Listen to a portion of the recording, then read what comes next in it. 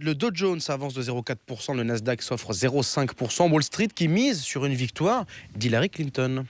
Et oui, et pour la première fois, nous avons des sondages en temps réel qui sont suivis par les institutions financières, mais qui sont délibérément ignorés par les médias, les médias qui ne veulent pas influencer la participation.